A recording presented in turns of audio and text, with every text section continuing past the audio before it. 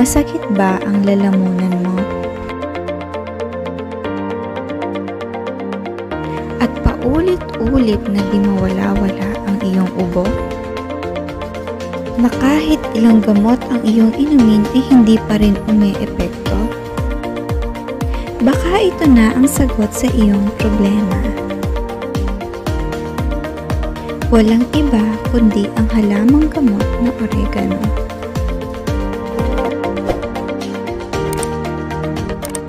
Ano nga ba ang oregano?